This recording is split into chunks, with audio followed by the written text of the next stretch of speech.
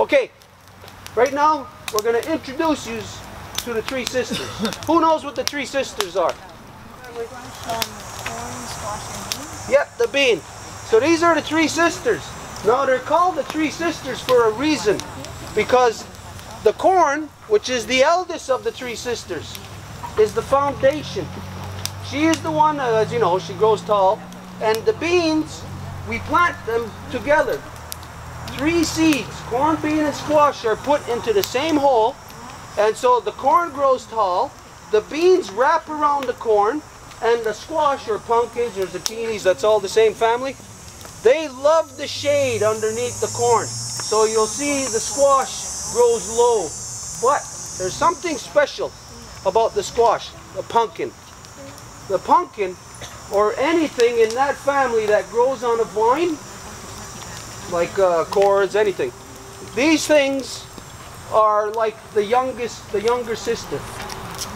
And like when you're in the family, the younger sister or the younger sibling is always the one that's allowed to play. The older one has to look after uh, the others, you know, that kind of stuff. So the squash, the pumpkin, this is the uh, is the one that is allowed to play, to have fun.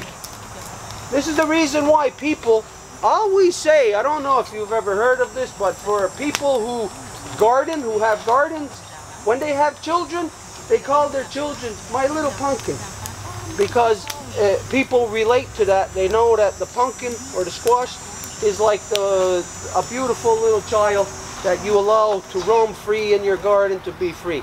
So we're going to introduce you to them. And today, like I said, uh, again, we're lucky we have another special guest. It's only because he's special. My older brother, uh. He's going to introduce himself. He'll explain uh, his name and the song, but uh, we're going to take you into the garden. Now, when you are in the garden, you're going to be following us in our song. Be very respectful in the garden. You got to be very careful because those three sisters are delicate. They need to be cared for, they need to be loved. So when you are going to be following us through the gardens, have that in your mind, the love for those three sisters. And you think of your own family. Think of your sisters, your brothers. Think of your mother. Think of your father.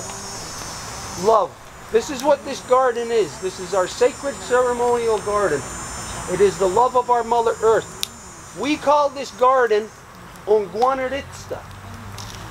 Unguanaritsta means the umbilical cord. Does everybody know what an umbilical cord is? The umbilical cord provides you food when you are in the belly of your mother. And so this garden here is Unguanaritsta.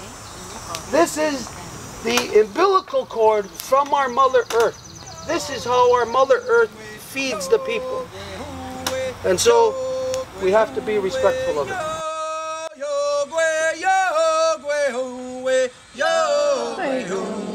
Yo,